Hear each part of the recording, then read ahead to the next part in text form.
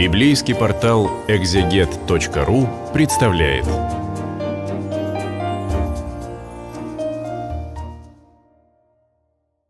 Двадцать пятая глава четвертой книги царей, последняя в этой книге, последняя во всех книгах царей, которые, э, собственно говоря, есть четырехтомное единое повествование. Э, самое-самое печальное. Книга царей начинается с такой юности, с весны, с расцвета Израиля, а заканчивается его полной национальной катастрофой. По каким причинам? Надо ли повторять про язычество? Надо ли повторять, что завет, заключенный израильтянами с Богом, предполагает взаимные обязательства и санкции за их неисполнение? Вот, соответственно, Израиль отпал от Бога и э, получает за это наказание. В десятый день десятого месяца девятого года царствования Циткии Вавилонский царь Навуходоносор со всем своим войском подступил к Иерусалиму, встал лагерь и окружил город осадным валом. Это у нас 588 год до нашей эры. Город оставался в осаде до 11 -го года царствования Циткии. В девятый день четвертого месяца, когда в городе был жестокий голод, и простому народу нечего было есть, враг ворвался в город – очень скупо повествует э, автор, очевидно, ему тяжело об этом говорить. Вот все богословские рассуждения, они в других местах этой книги. А когда вот начинается эта самая резня, когда начинается падение Иерусалима, тут что уже рассказывать, вот просто жестокие факты. Все воины ночью вышли из города через ворота, что между двух стен возле царского сада – не очень понятно, как это было устроено. Мы не, плохо себе представляем географию Иерусалима до его взятия. Они пытались уйти в направлении Аравы, а город был окружен халдеями. Ну, то есть остатки войска, после того, как город уже пал, пытались как-то выйти. Халдейское войско погнало за царем, настигло его на Иерихонских равнинах. Его воины разбежались, а самого царя схватили и привели к царю Вавилонскому в Ривлу на суд. Этот самый царь Цитки. Сыновей Цитки убили у него на глазах, потом выкололи Цитки глаза – вот очень жестокая вещь, что последнее, что он видел, смерть своих детей, выкололи цветкие глаза, заковали в бронзовые отковы и отвели в Вавилон. В седьмой день пятого месяца, это был девятнадцатый год царствования Вавилоне Навуходоносора, слуга вавилонского царя и его телохранителей Навузардан пришел в Иерусалим и сжег храм Господень и царский дворец и все дома в Иерусалиме. Все большие здания он сжег огнем. Это, соответственно, с 586 год до нашей эры.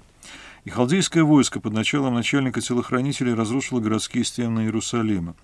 Прочий народ, который только оставался в городе, и те, кто прибежал к царю Вавилонскому, все это множество людей начальник телохранителей Навузардан отправил в изгнание. Лишь некоторых бедняков оставил начальник телохранителей трудиться в виноградниках и на полях. Продолжение той же политики, которая была в Вавилоне, не уводят э, всю элиту. Они уже это сделали еще прежде, еще до разрушения Иерусалима, оставляют лишь крестьян, потому что крестьяне сами по себе, они не опасны, им трудно организоваться, у них даже нет кузнецов, чтобы себе оружие приготовить. Здесь уже даже и э, крестьян большинство ввели, оставили некоторых бедняков, чтобы потому что совсем все в запустение не пришло.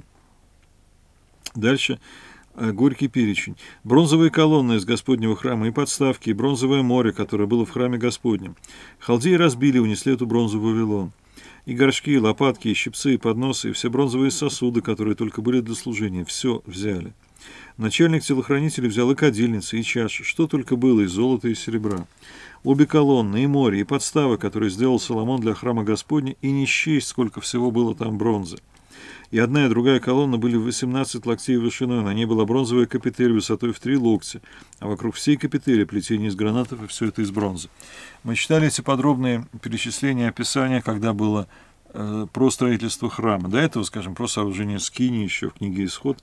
А здесь э, довольно коротко вот про ту добычу, которую взяли, и все равно это перечисление как прощание не только с людьми, но и с э, украшениями храма. Начальник телохранителей забрал первосвященника Сыраю, второго священника Сафонию и трех привратников.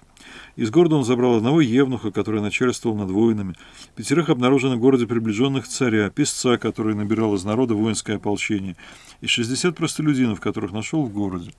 Начальник телохранителей Навузардану, то есть вавилонский э, эмиссар, генерал, который там распоряжается, Э, Новозардан взял их и привел к царю Вавилонскому в Ривлу, в Ривле, в земле Хама, то есть уже далеко от Иудеи. Вавилонский царь всех их казнил смертью. Так иудеи были изгнаны из своей страны. Зачем казнил? Вот даже людей, которых просто схватили на улице простолюдинов. Ну, просто уже такая тактика террора, тактика мести за э, унижение, за э, неподчинение, вот уже буквально кого попало.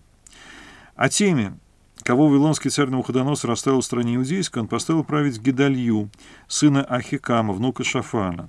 Когда все оставшееся войско иудеев во главе со своими военачальниками услышало, что Вавилонский царь назначил Гедалью, они пришли к Гедалье в Мицпу. Там были Ишмаэль, сын Нетаньи, Йоханан, сын Кареаха, Сырая, сын Танхумета из Натафы, и Язань, Яазань, родом из Махи, вместе со своими людьми.